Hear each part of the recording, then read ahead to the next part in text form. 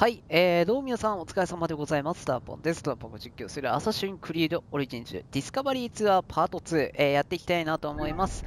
えー、今回はですね、えーと、ディスカバリーツアー番外第2弾ということで、まあ、前回ピラミッドの起源をね、えー、だいぶ分かって、あの、教えてもらいましたので、えー、今回はちょっとね、なんかこう、エジプトの主要地域、まあ、ここについて最初学んでいこうかなと思います。せっかくね、あのー、来たんで、まあ、主要な地域について教えてもらった後、ちょっと人々の生活とか動物とか、ちょっと、えー、今回はですね、やっていこうかなと思います。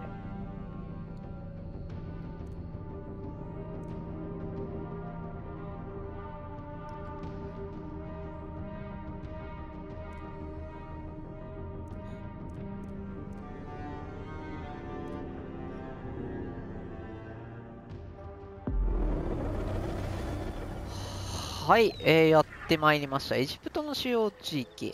えー、エジプトの主要な地域について学びましょう。エジプトの主要地域についてご説明しましょう。おおこのツアーには船が必要です。あ、船、船で回るんですね。はーい。じゃあ行きましょう。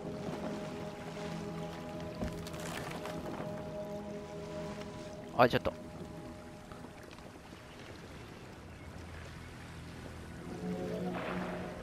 古代エジプトの生活はナイル川沿いに集中していて2つの地域に分かれていました、下エジプトは地中海に近いナイルデルタに位置し上エジプトはアフリカの奥へ続く南部を示します。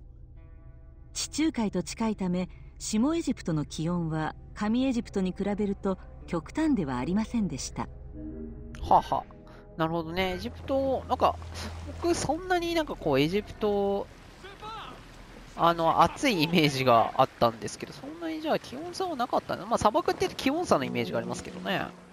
紀元前3100年にエジプトが統一されるまで、それぞれの地域にファラオがいました。下エジプトの王冠は赤で、パピルスと蜂の象徴がついていました。上エジプトの王冠は白で、象徴はハスとスゲの草でした。はは。えー、っと、なるほどね。はあ、はあははあ。えー、なるほどね。まあ、この辺当時はまあファラオって呼ばれてたんですかね。なるほどね。いいですね。こう,、まあ、こういうね、もうのんびりできるモードはたまにはやるとね、ほんとね、面白くてしょうがないですね。まあ、博物館行かなくてもエジプトについて知りたかったら朝繰りやれば大丈夫ってことですよね。じゃあ3番目ですね。ちょっと行ってみましょう。両地域は競うように大都市を持ちました。下エジプトはメンフィス上エジプトはテーベです。どちらの地域もそれぞれの信仰がありそれぞれ自分たちの神々を崇めていました。なるほど、まあ、メンフィスとかはねストーリーモードでよく行きましたけどまあまあ、朝栗作った人たちっていうのはこういう、まあ、いわゆる博物館とかいろんなところにある情報を集めてこうやってねゲームオープンワールドの世界をグラフィックで作っていくっていうところですね。やっぱすごいですね。神殿の多くは双方の地域の代表的な形式で作られ儀式には上下エジプトそれぞれの流儀が組み入れられました。へえなるほど。えー、航路。はあ、ははあ、これ実際にこれあのエジプトの考古博物館エジプトカイロに置いてあるやつの画像になります。なのでまあ、えー、当時その博物館に置いてあるこれがまあいわゆる当時その時使われていたものの写真ですね。すごいですね。これがまあ、当時使われていて、なんか中央の部分にはなんかやっぱりそれっぽいようなこう絵というか文字が書かれていますね。で、下に書いてあるのは鳥ですかね。そうだね。鳥が書かれてますね。この二人、人間二人が持ってるのは、これ多分、進化ですかね。家臣の人たちですかね。えー、ツアー完了しました。エジプトの主要地域。えー、というわけで、あ、クリアしていくとどんどんこうやって、えー、チェックがついていくわけですね。なるほど。はあ、ははあ、まあ、マッチごとについてもね、結構あるので、ちょっとじゃあ、えー、へーへーへー。家畜。これちょっと気になるよね。エジプトの再発見、現代考古学の始まり。なんかね、どっかにね、動物あったんだよ。すごい。ね、これ。あ、スフィンクス15。えー、どれだっけ？あ、これだ、これ。エジプトの動物について学びましょう。なんか当時の動物がどうなってるのかすごい気になるんですよね。なんか動物すごい気になるからね。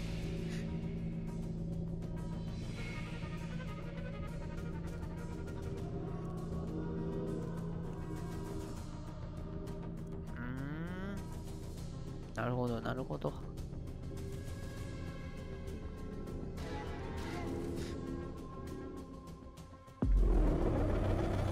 さあ、やってまいりました。じゃあ、今回は、えー、動物について、えー、ちょっと教えてもらいましょう。古代エジプトの動物についてご説明しましょう。あ、すごいすごい。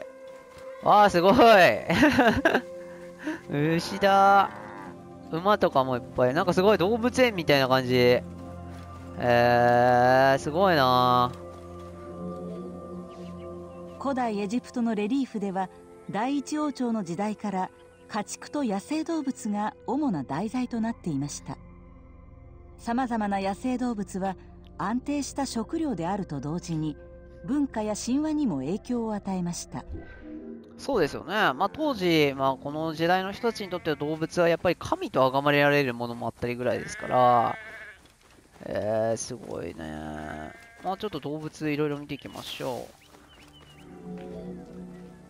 エジプトの地形は多様な動物の生息を可能にし、ヒョウ、サイ、ゾウや幅広い種類の霊羊がいました。へえ、なるほど。ガゼルとかがいっぱいいたわけですね。はいはいはい。ちょっと移動が大変だけど。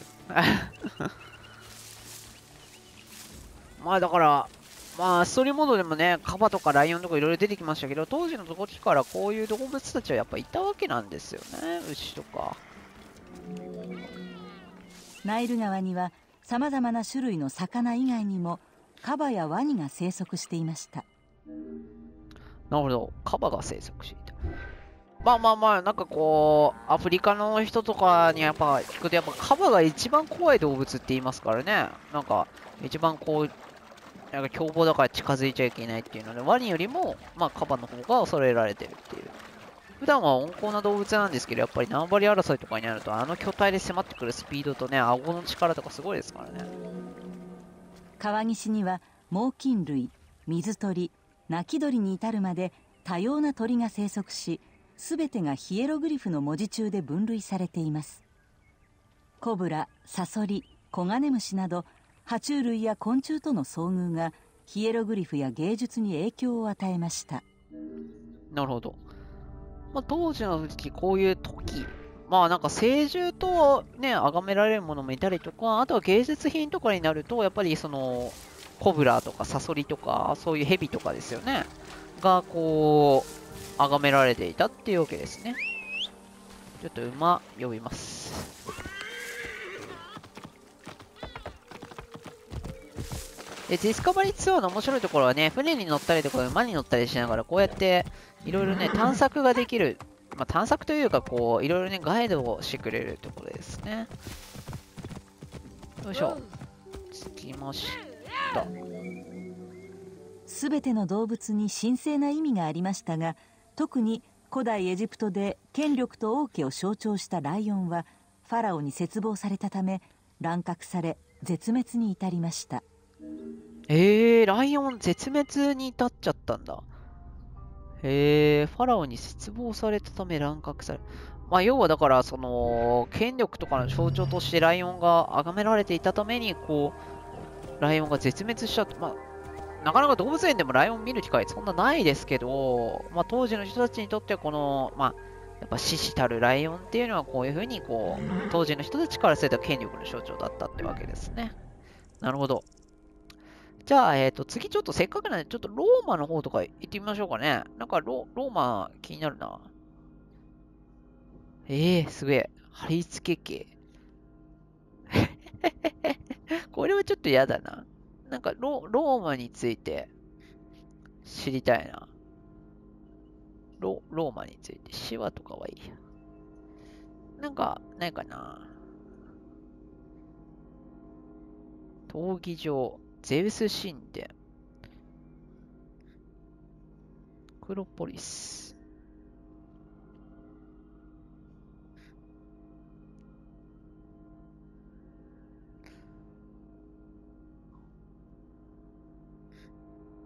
うん。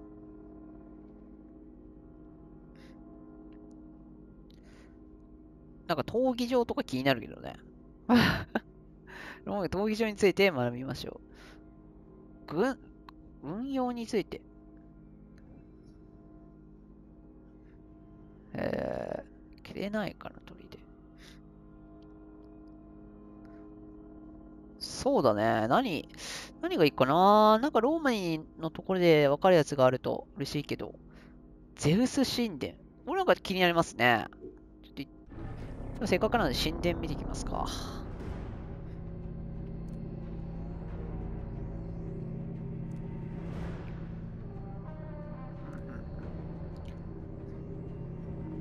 えー、ウェブサイトのページが全て保存されている。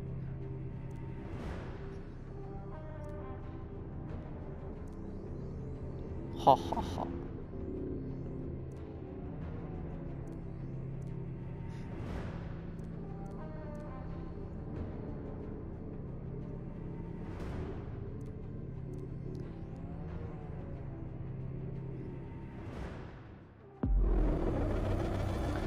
はい、やってまいりました。こちら、ゼウス神殿ですね。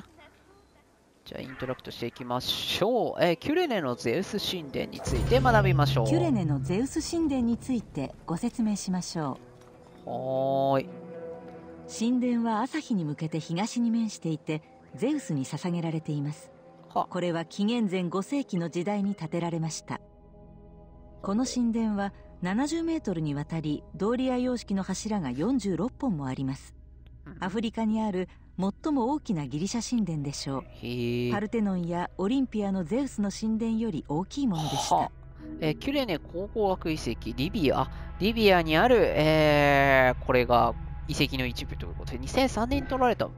ユネスコって書いてあったぞこれ。本当だ。ユネスコだわ。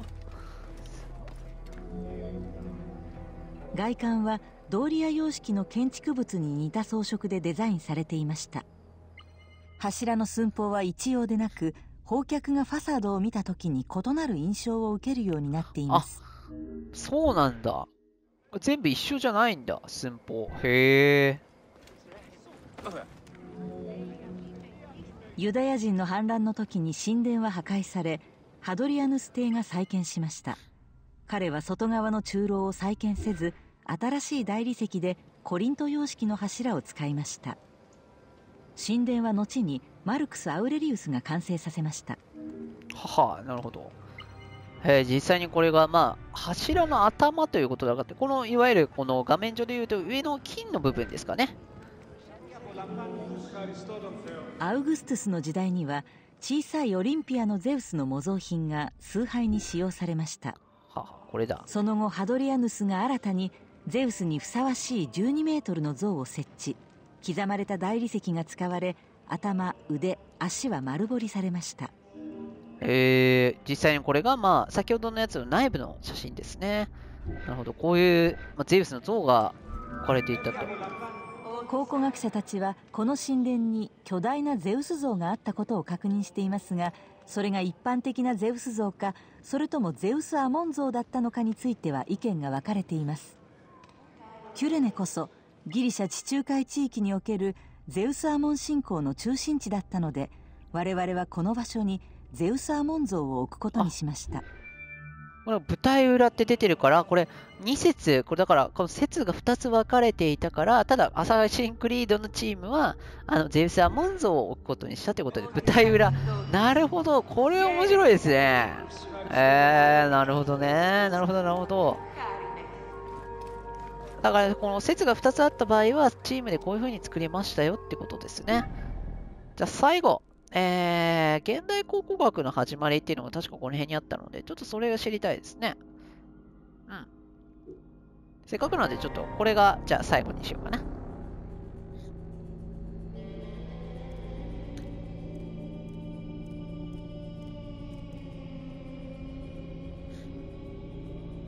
へえ、ドラグマ、ドラクマはプトレマイオスキに使用されていた通貨。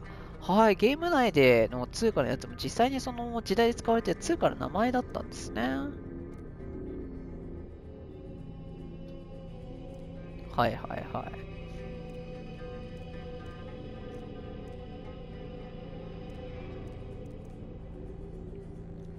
へえ、エジプトは文明化という絵を初めて獲得した。じゃあ、えー、最後いきましょう。エジプトの再発見。じゃあ見ていきましょう。エジプトの再発見についてご説明します。男性のコインがありましたね。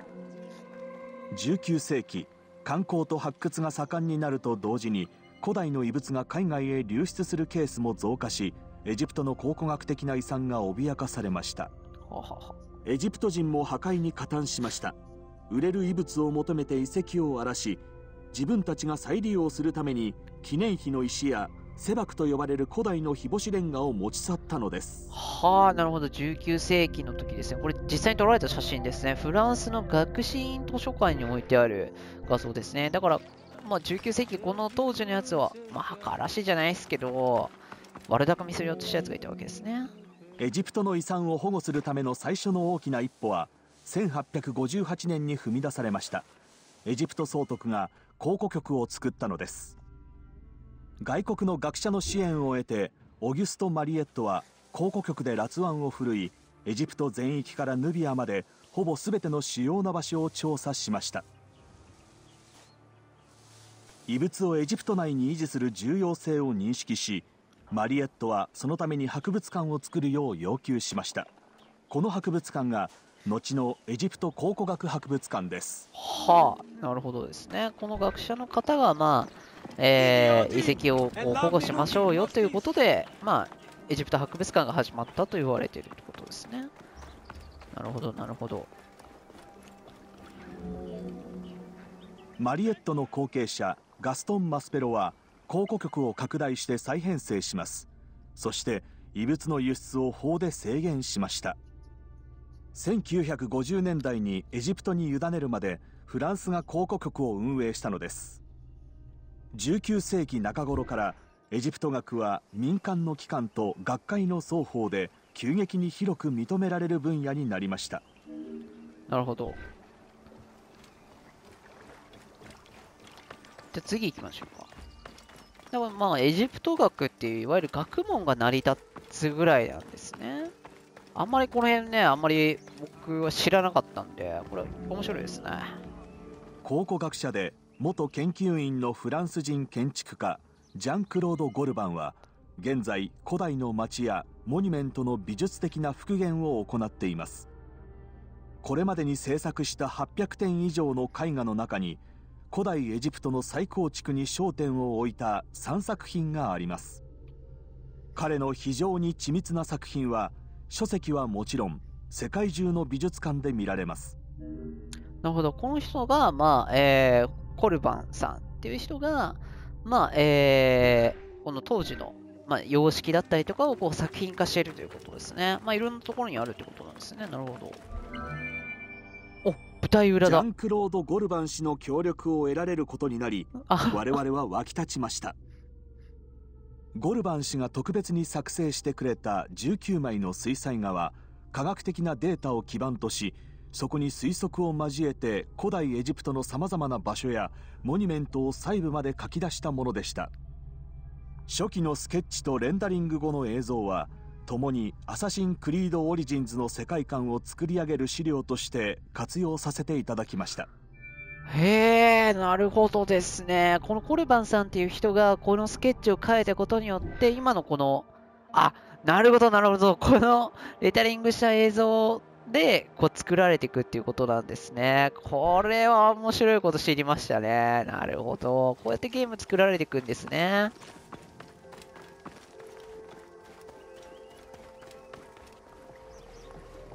なるほどですね。こういうだから学者の人たちとかとこう協力しないと当時のその世界観は出せないっていうことなんですね。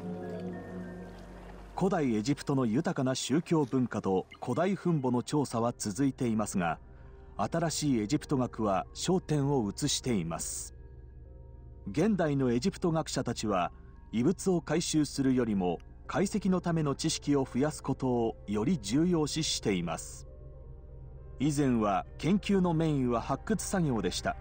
今も発掘は続いていますが現代のエジプト研究の多くは図書館や記録保管庫で行われています。なるほど。えー、じゃあ今の人たちは発掘分析するっていうことをメインでやってるんですねえー、すごいですね。だからこういう、だから建物の様式とか配置とか全部、こう、協力のもとにできてるわけですね。今日のエジプト考古学は、協業的研究で成り立っています。多分野の科学者と連携し、異物を損壊させずに解析する技術の支援を受けているのです。GPS、衛星画像、地中探査レーダーにより、地中に何があるのか、発掘前に推察することも可能になっています。なるほどね。GPS とかこういう衛星画像とかを利用して実際の当時の様子とかをこうやって表せるようになったということなんですね。えツアー完了しました。エジプトの再発見。はい、えー、というわけで、えー、皆さんね、あのー、ご視聴いただきましてありがとうございました。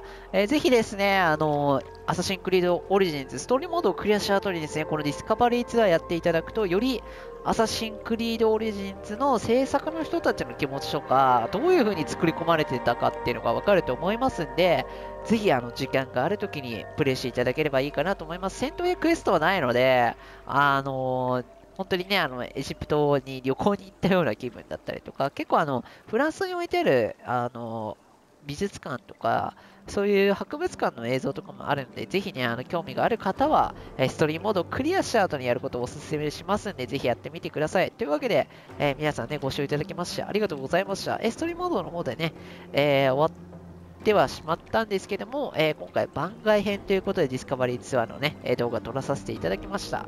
えー、またですね、新しい、えー、ゲームの方でいろいろやっていきたいなと思いますので、ぜひお楽しみください。そして、アサシンクリードオリジンズ、ぜひ皆さんもね、一度プレイしていただければなと思います。というわけで、次回もお楽しみに。お疲れ様です。